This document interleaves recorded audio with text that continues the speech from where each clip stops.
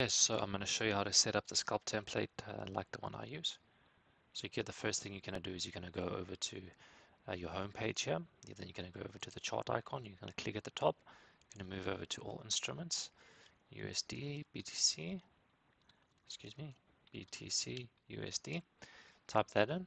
Then you're going to select this option here on Bybit. You're going to press OK. Then what it's going to do is going to generate a new it's going to uh, generate a, a, a, new tab with the default settings on. So from here, your default settings will look different to mine, but that's okay. So the first thing you're going to do is you're going to go over to the left-hand side. You're going to click on this area. You want to select Range US. You're going to uh, probably only have one option. I don't think you'll have any options there. Uh, so what you need to do is you need to go over to Configure. Click on Configure. Choose Range USD then you're going to press add. Now you've got, um, I recommend two options. The first one is going to be 24 tick trend and reversal is 10. You can also use 44 44 uh, tick trend and you can use 10 oh, 26 for the reversal but just use this for now 24 and 10 you're going to press add so you can select one of them and press apply so then when you go over back here you'll see a little add that uh, that um, setting that you saved. So we're just going to select that one.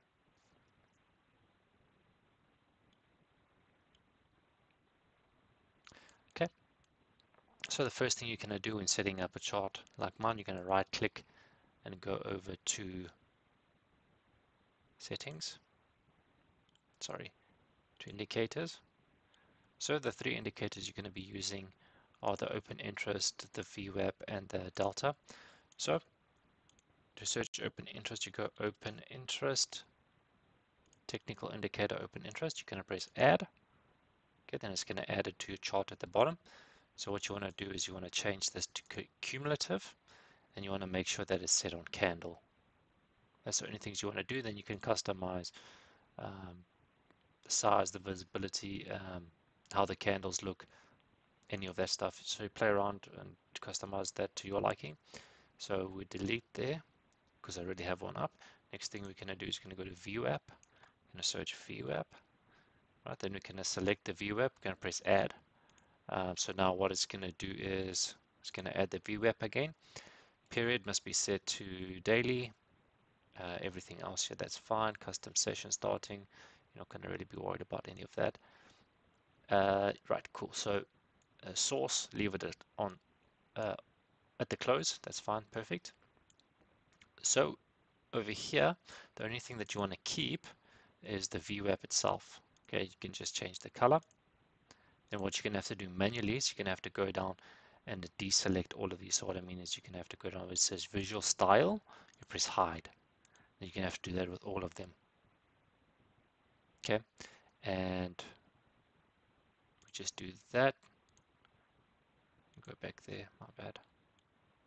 So once you deselected everything, you see my one's coming up like this. So I need to go here and I need to say visible, visible, no.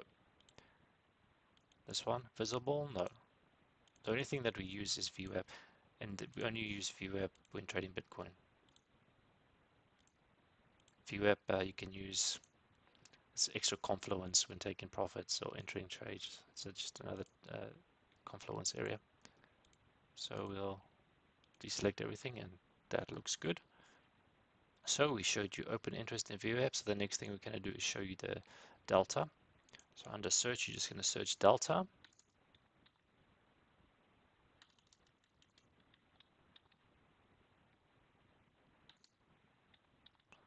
There we go.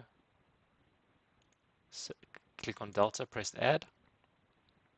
So if you wanted like mine, the only thing that I have different here is I have on the MISC, on the mode I have uh, set to high and low. That's how I like to read the delta. That for me is the most clear. Just make sure that's set to candle. The rest, as I say, there's lots of options. It's really customizable. It's pretty crazy actually. Um, so delete that because I already have mine set at the bottom. And then the last one was the actual cumulative delta. So you can go delta again, search in delta, search cumulative delta. Then you press add. Okay, it's going to add it uh, here to your chart. This one you want mode set to line.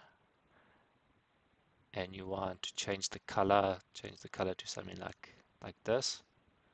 And width.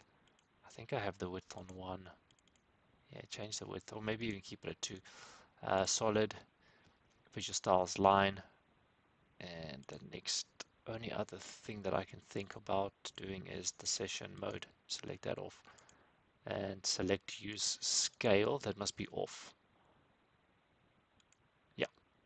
And show description. So just make sure all of that's deselected. Change the mode to line. Uh, you don't want a zero line. You can remove the zero line. Um, there's a way to do it. It's just annoying. Right so I delete that because I already have it here so those are your three indicators or four indicators I guess the VWAP, uh, this is going to show you open interest. This is going to show you the cumulative delta. So you can see here, open interest is increasing, the delta is increasing, the cumulative delta is increasing, and your actual delta is positive. So this tells you that new new long positions are opening as you speak. Okay, but what you notice, look how look at the divergence here already. So your delta is already much higher than what price is that to me is already bearish, but I'll leave it as that. This is a swing failure pattern. Can you see when you have a flat line in the open interest like that and it decreases, it's basically telling you that that when price moved down here, what I was actually doing was liquidating over leveraged long positions. They've been kicked out of the market. So once they were kicked out and finished, then once they were removed from the market efficiently, essentially all the selling uh, had stopped, right? Because those long positions they were forced to sell are not dried up. So what often ends up happening is price reverses. This doesn't always happen, uh, but this is called a swing failure pattern. But you can see you can see it manifested in the CVD as this as the uh, cumulative volume goes down, right? Because you have negative delta. Say the negative delta here, so you know that um, negative delta or position selling was causing this. And it's not new orders selling, it's old positions that got liquidated. They got removed from the market. Once they were cleared out, the price reversed. This is a pretty uh, standard template for a swing failure pattern. So I uh, hope, that, hope that helps you guys. Yeah.